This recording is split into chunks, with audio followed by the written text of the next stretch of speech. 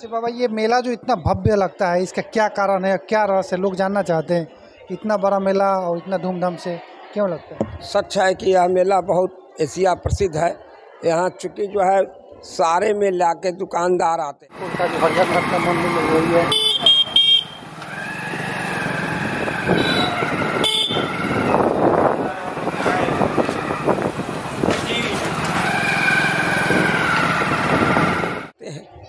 बाबा ये भी मैं सुना हूँ कि इस मंदिर में बिना लगन का भी शादी हो जाता है।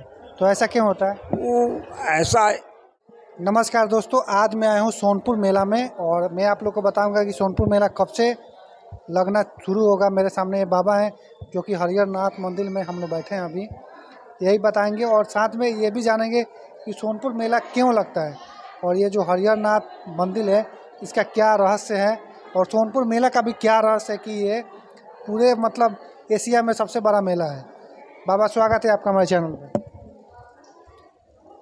यह श्री बाबा हरिहर नाथ का मंदिर है और यह मेला जो है सदियों से लगता आ रहा है। यह बाबा हरिहर, हरि और हर का मंदिर है जो बहुत प्रसिद्ध है और यहाँ लोग जनेऊ, यज्ञोपवीत, मुंडन, विवाह, पूजन आदि सारे उत्सव होते रहते हैं। यहाँ प्रतिवर्ष प्रतिदिन लोग अपनी मन्नत पूरा करने के लिए आते हैं। बाबा हरिहर नाथ की इतनी महिमा है कि श्रद्धा से श्रद्धालु अगर आराधना करता है तो भगवान उसकी मनोकामना अवश्य पूरी करते हैं। इसमें तनिक भी संदेह नहीं है। अच्छा बाबा ये मेला जो इतना भव्य लगता है इसका क्या कारण है क्या रहस्य है? लोग जानना चाहते हैं इतना बड़ा मेला और इतना धूमधाम से क्यों लगता है? सच है कि यह मेला बहुत एशिया प्रसिद्ध है। यहाँ चूँकि जो है सारे मेले आके दुकानदार आते हैं। जाड़ा का वस्त्र ऊनी होता है और जो है से गर्मी का वस्त्र होता है, बच्चे का खिलौना है, झूला है, सर्कस है और थिएटर भी लगता है और सरकार द्वारा बहुत सुव्यवस्थित ढंग से व्यवस्था की जाती है और एशिया के लोग यहाँ आते हैं। पहले पशु का मेला लगता था, पशुओं के प्रसिद्धि थी। एशिया मेला जो है, यह पशुओं के नाम से प्रसिद्ध था। लेकिन अब जो है पशु का मेला लगभग समाप्त हो चुका है। फिर भी सारे दुकानदार इतना आ जाते हैं लोहा बाज़ार लकड़ी बाज़ार पलंग बाज़ार सोना बाज़ार मैंने जानवरों का बाज़ार है चिड़िया बाज़ार है वो सारे बाज़ार यहाँ पर लगते हैं। यार बाबा पहले हाथी भी बिकता था मैं सुना हूँ। जहाज़ भी बिकता था पता नहीं सब चीज़ बिकता था। घोड़ा बाज़ार आता है। हाथी नहीं बिक रहा है। हाथी सरकार प्रतिबंध है। सरकार द्वारा प्रतिबंध होने के कारण हाथी नहीं आ रहा है। न तो हाथी बाज़ार, हाथी का एक बहुत बड़ा आज भी प्लॉट है, बाज़ार लगता था, मेला लगता था। घोड़ा बाज़ार आज भी बहुत क्षेत्र में फैला हुआ है जो घोड़ा बाज़ार लगता है। बैलों का बाज़ार था, आज भी सोना बाज़ार लगता है। जो सुनार लोग जो है, औज़ार पाती जो बेचते हैं, वह जो है, से सोना बाज़ार भी लगता था। अच्छा बाबा ये जो मेला है ये कब लगेगा? एक बार तारीख बता दीजिए क्योंकि कार्तिक पूर्णिमा लोगों को समझ में नहीं आएगा। इस वर्ष 27 नवंबर 2023 से का गंगा स्नान कार्तिक पूर्णिमा है तो उस दिन उसके एक दिन पहले सरकार द्वारा मेला का उद्घाटन कर दिया जाता है कि 32 दिनों तक या 30 दिनों तक मेला जो है सुचारू ढंग से सरकार के द्वारा व्यवस्था के द्वारा चलेगा। और व्यवस्था सरकार द्वारा दी जाएगी। यह इनकी महिमा इतनी अपरम्पार है कि दूर दराज से भारत के कोने कोने से लोग बाबा हरिहर नाथ के जल अभिषेक करने के लिए आते हैं। और पूर्णिमा के दिन, कार्तिक पूर्णिमा जो है 27 नवंबर के पड़ता है। लोग गंगा स्नान कर बाबा हरिहर नाथ का जलाभिषेक करते हैं। लाखों लाख की संख्या में लोग बाबा के जल अर्पण करते हैं और इतनी भीड़ हो जाती है कि पंक्तिबद्ध होने के बावजूद भी जो है लोगों को तिल रखने का जगह नहीं होता है। और उसके बाद बाबा हरिहर नाथ के जलाभिषेक करने के पश्चात लोग मेला भ्रमण करते हैं और अपनी जो आवश्यकता है, अपने सामर्थ्य के अनुसार जाड़े कपड़ा, बच्चे के खिलौना, घोड़ा बाज़ार, बकरी बाज़ार, कुत्ता बाज़ार लोहा बाज़ार ये सब भ्रमण करते हैं। घूमने में तो सम सम दिन भर में भी पूरा मेला नहीं घूम पाएगा इतनी मतलब लंबा चौड़ा है। हाँ भीड़ तो बहुत ज़्यादा लगता है एक दिन में आप नहीं घूम पाएँगे। अच्छा बाबा जो लोग दूर से आते हैं वो लोग चाहें यहाँ रहने के लिए तो कहाँ पर रहेंगे? ज़रूर। यहाँ मंदिर में भी ठहरते हैं बहुत सा धर्मशाला मंदिर के आसपास है और आवासीय आवास्थान स्थान भी है। जो किराए लेकर भी रह सकते हैं धर्मशाला है, मंदिर में बना हुआ है, बाबा आर्यनाथ में, यहाँ भी लोग रहते हैं और उसके आसपास जो है, बहुत से जो है धर्मशाला है, लोग वहाँ रहते हैं। मैंने चारों तरफ़ लोग गाँव के घर के दरवाजे पर विराजमान होते हैं। यहाँ किसी प्रकार के आगंतुक को दिक्कत नहीं दी जाती है।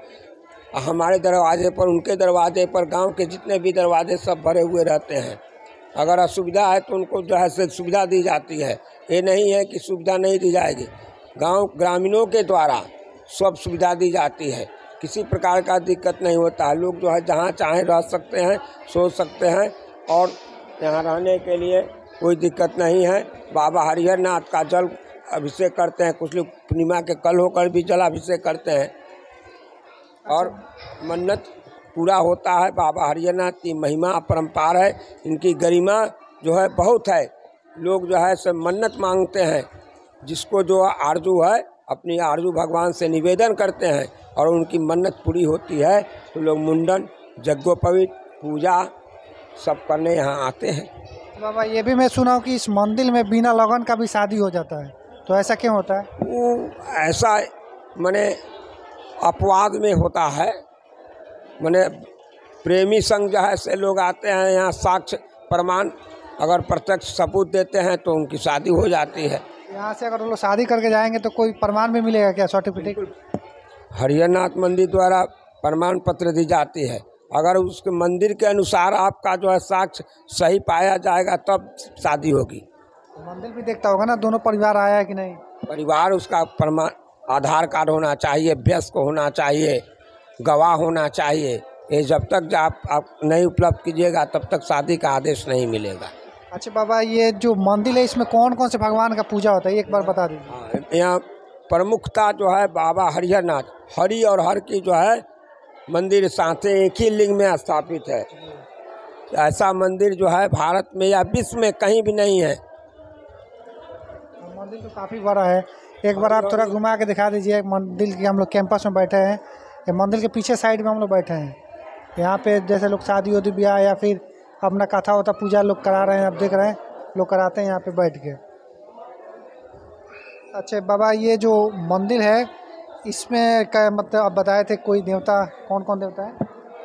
देखिए, प्रमुखता, प्रधानता हरि और हर का है। और मंदिर है तो आसपास में लक्ष्मी, सरस्वती, गणेश, हनुमान जी का मंदिर, लेकिन प्रमुखता विशेष माता जो है, हरि और हर का है। चूँकि जो है नारायणी नद्या में यहाँ पर जो है भगवान श्री कृष्ण ने द्वापर में ग्राह को मारकर गज का उद्धार किए थे। इसलिए जो फिर आप फ़ोटो तो आप लोग देखे होंगे जिसमें एक हाथी का घड़ियाल हाँ। पैर पकड़ा था। हाँ, वो यही कहानी से स्टार्ट है। नारायणी नदी में जो है से भगवान श्री कृष्ण ने ग्राह को मारकर गज को उधारे किए थे। पंजाब सिंधु में, नदी में जो है, हाथी पानी पीने गया और वहाँ से जो है, गज और ग्राह में संग्राम होते होते यहाँ जो है, नारायणी नदी में आ गया तो अब समझा कि गंगा में जाकर खाड़ी में चलेगा मृत्यु अब निकट है। वही वह भगवान से पुकारा, हे गोविंद राख शरण, अब तो जीवन हारे। नीर पियन हेतु गए उस सिंधु के किनारे। सिंध बीच बसत करा, धरी मोहि पछारे। चार पहर युद्ध भयो। तो नाक कान डूबने लगे, कृष्ण को पुकारे, हे गोविंद, राख शरण, अब तो जीवन हारे। तो भगवान आर्दनाथ से जब हाथी ने भगवान श्री कृष्ण को पुकारा तो भगवान नंगे पाव आकर ग्राह को मारकर गज का उद्धार किए। और इस तरह कौन हारा घाट उन्हीं के नाम से प्रसिद्ध है? और यहाँ नारायणी नदी में घड़ियाल का वास नहीं होता है। वह भगवान के द्वारा ही जो है सो श्राप मिला हुआ है कि यहाँ निवास करोगे अंधे हो जाओगे। ऐसा यह पुराणों में वर्णित वर्णित है। ऐसा वर्णित है। अच्छा बाबा अगर मेरे दर्शक आपसे आके मिलना चाहे तो कैसे मिलेंगे? क्योंकि आप जो जानकारी दे रहे हैं बहुत बढ़िया दे रहे हैं। तो आपसे अगर कोई मिलना चाहे वीडियो देख के तो कैसे मिलेंगे? मिल जाता है हमें यहाँ उपलब्ध रहते हैं। चलिए ठीक है मैं बाबा का परमिशन देंगे तो इनका नंबर डाल देंगे और इनसे आप लोग मिलना चाहे आप यहाँ क्या क्या सेवा दे सकते हैं? कांटेक्ट कर सकते हैं जन आप यहाँ बाबा पूजा वूजा कराते हैं? हाँ पूजा विवाह हम लोग कराते हैं यहाँ का ब्राह्मण है।